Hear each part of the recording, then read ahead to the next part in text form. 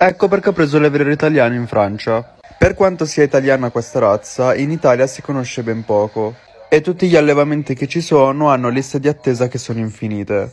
Io ho scelto l'allevamento francese perché gli stessi allevatori italiani me l'hanno consigliato e direi che la scelta è stata azzeccata.